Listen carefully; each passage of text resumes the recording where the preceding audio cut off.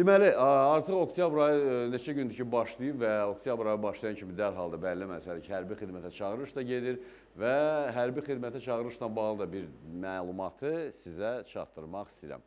Mən ikinci dəfə əskər atası oldum.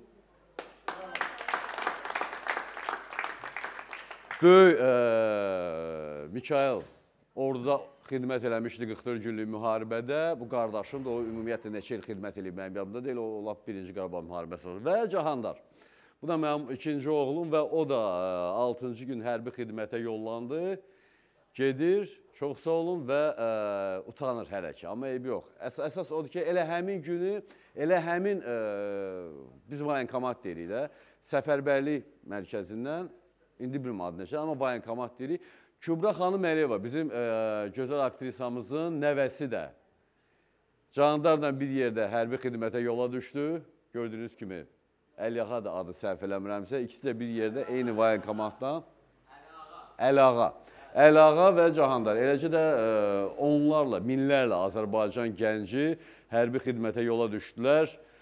Öz borclarını yerinə yetirməlidirlər və hərbi xidmət el- Ağəli. Bəli. Ay sağ ol, Ağəli. Biz mən adlarını o hərfləri səhv qoymuşdum. Ağəli. Düzəltdik. Və və mən nə, nə çox xoşuma gəldi. Mənim nə çox xoşuma gəldi iş orasındadır ki, bir qayda olaraq artıq bizdə artıq bizdə hərbi xidmətə çağırışla bağlı bir adət-ənənə yaranıb. Söhbət nədən gedir? Bu uşaqları yola salanda əl çala-çala.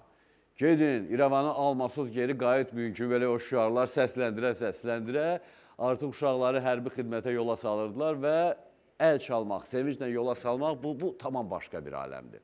Plus, gördünüz Bacı Candarla Kübra xanım da öpüşdü. Və artıq kişilik məktəbinin ilk mərtəbəsinə, ilk mərhələsinə qədəm qoydular.